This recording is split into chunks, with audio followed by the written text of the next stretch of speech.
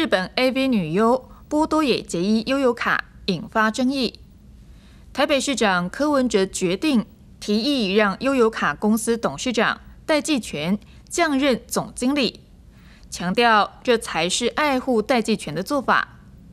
不过蓝绿议员批评戴季全他原本就是董事长兼任总经理，柯文哲这样的处理根本就没差。日本 AV 女优波多野结衣优卡引发争议，延烧几天后，优卡公司董事长戴季全终于开口认了，这是他的点子。面对朝野压力，台北市长柯文哲在议会施政报告前，决议向优卡公司董事会提议让戴季全降任总经理，强调这才是爱护戴季全的做法。厌恶媒体跟厌恶议员哦，我觉得还是错误连连的，所以我们还是给年轻人一个做事的机会嘛。但是是不是请这些资深前辈啊？那个英文叫 cover，就是要看着他这样，防止他冲太冲太过头。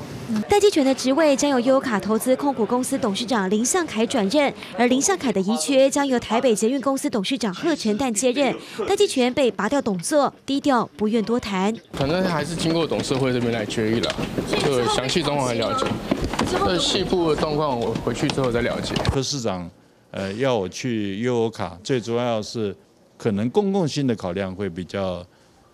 多一点。在市政报告前几个小时宣布代际权人事案，还是止不住蓝绿议员的怒火。换汤不换药，变为董事长下面的总经理了，薪水一样二十五万，工作职务不变，还派了两个董事长、两个总经理外带两个发言人。现在人一多，假大雄赢。蓝绿议员轮番痛批，以程序发言背个柯文哲市政报告。一起合作好不好？柯文哲上任八个多月以来，风波不断，而原本就兼任优卡公司总经理的戴季全，被提议拔除董座之后，薪水是不是还会一样？还得等到九月二十五号董事会开会后才能定案。记者林信、陈柏玉台北报道。立法院新会期开议。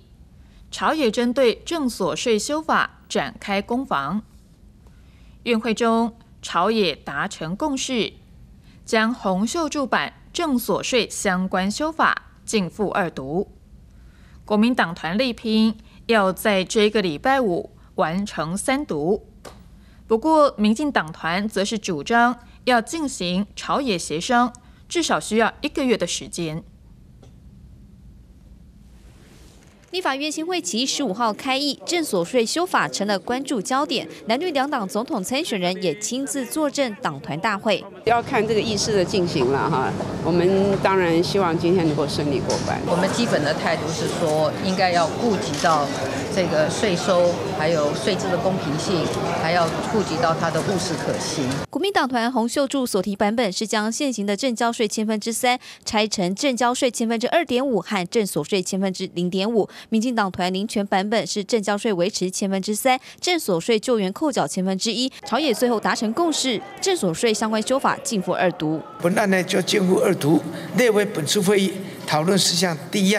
星期五一定要进入表决。好，我认为说事不宜拖啊，悬在那里对整个资本市场都不好。国民党团体拼着中午完成三读，不过蓝营内部仍有杂音，近半数的国民党立委已经展开废除正所税联署。我所提案废除正所税的这个案件，哈，已经早就跨越了这个最低的门槛，马上一堆人签了。这真的是最好的版本吗？那是不是大家应该坐下来好好谈？包括 IPO 的问题，包括所有呃正所税的一个过程，什么是对台湾经济最好？而民进党团也倾向将协商期拉长，加上接下来总执行，恐怕要拖过一个月后才能进行表决。正所税相关修法要闯关，仍有变数。记者台北综合报道。登革热疫情全岛沦陷，只剩下离岛的连江县还没有传出病例。眼看登革热病例数即将破万，行政院宣布成立登革热中央流行疫情指挥中心。格热疫情持续延烧，疾管署公布，周一又新增两百九十六例本土登革热病例，累计今年入夏以来，已经有九千八百六十二例本土病例，其中有十八例死亡，疫情相当严峻。因此，行政院在周二紧急成立中央流行疫情指挥中心。行政院长毛治国下午举行首次工作会议时强调，将运用防火墙概念，加强防疫力道。另外，也意有所指表示，希望地方与中央不要有本位主义，才能全面对抗登革热。千万不可以有本位主义，或者是个人英雄主义。我们也不希望看到任何打击各单位或民间防疫人士士气的言论。啊，我们共同的敌人是病媒蚊。台东县也新增一例登革热病例，而且有台南旅游史，使得台湾本岛全部沦陷成为登革热疫区。而高雄市病例数也首次破千例，台南市全区三十七区只有两区没有病例。为了阻断疫情蔓延，指挥中心也决定将请国防部调派化学兵协助喷药及消毒作业。疫情的流行地区的部分嘛，可以快速的把它掌控啦，然后把它控制下来。那呃也不止，可能也不止一次的去喷，甚至呃可能要反复。的一个作业，那尽量把这个疫情控制下来。此外，机关署也宣布，从九月十七号起，将针对登革热病患采取 A、B、C 三级管制。A 级属于轻症，在家自主管理即可；B 级是早期症状患者，可到应变医院接受治疗；至于 C 级重症患者，则由奇美或成大等医学中心负责治疗，依照病情严重程度分散就医。记者赖淑明、蒋龙祥台报道。国内知名工研醋制造商。大安工研公司被查获涉嫌混入过期原料，虽然业者说愿意无条件的退换货，不过消保官已经和业者协商，由大纯食品代工的问题污醋，应该要退还原价两倍给消费者来作为补偿。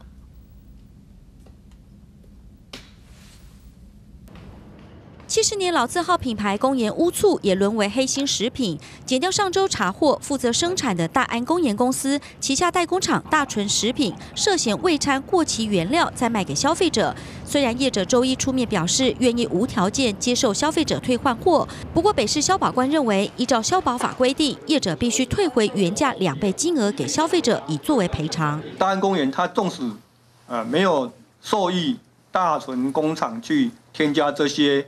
呃，过期的这些原料，但是他没有善尽他督导代工厂的责任，也有过失。消保官表示，大纯食品代工产品有四项，包括乌醋及味增豆瓣酱等不同规格包装，而乌醋是消费者可直接购买品项，味增豆瓣酱则是小吃店自行选购，没有上下游通路关系，因此只能就乌醋部分要求赔偿，其他下架商品则是退回原价。你一瓶几十块，你两倍怎么过呢？对不对？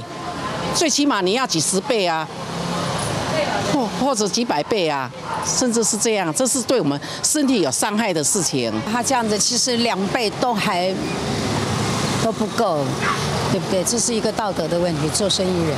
而大安公研公司已经在官网上公告，只要是有效期限在二零一八年四月二十一号的污醋产品，消费者拿发票或产品都可办理退货及赔偿。记者赖淑明、蒋龙祥台报道。